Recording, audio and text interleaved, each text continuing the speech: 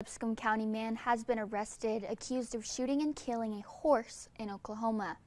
In August of 2022, an employee of a ranch located in Ellis County, Oklahoma, discovered a horse owned by the ranch had been shot and killed.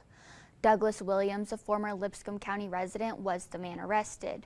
A special ranger and the Ellis County Sheriff's deputies recovered evidence linking Williams to the crime. Williams was arrested later near Jackson, Missouri. He waived extradition and was taken into custody by the Ellis County Sheriff's Office.